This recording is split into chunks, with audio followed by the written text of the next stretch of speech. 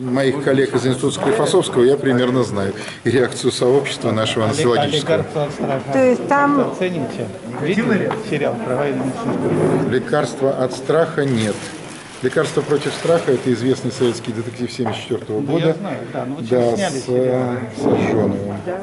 Главной роли. А э, американский Нет, вот сериал, этот простите, вот... ради бога, я вам сразу говорю, что сериалы я вообще, к смотрели. сожалению, не смотрю, потому что это занимает очень много времени. Когда потребовали прекратить Склифосовского, они не прекратили. Нет, ну нет, он же идет. ну. Я честно скажу, Бизнес я не бизнес, знаю почему, потому что, ну, понимаете, дело в том, что если говорить о сериалах, ведь совершенно по-разному воспринимается фильм профессионалом и непрофессионалом. Я думаю, с точки это зрения, любым фильмам с точки, да, совершенно верно, про авиацию, пожалуйста. Посмотрите этот экипаж, вы армию, там. послушайте отзывы профессиональных Ага, летчиков, да.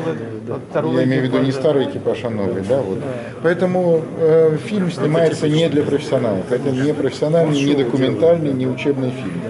Ну, а если какие-то коллизии, понимаете, как говорил один мой друг, если в американском фильме на советской подводной лодке командир ходит в милицейской фуражке, это уже большая заслуга Голливуда, да? То есть, ну, вот как-то так. Это-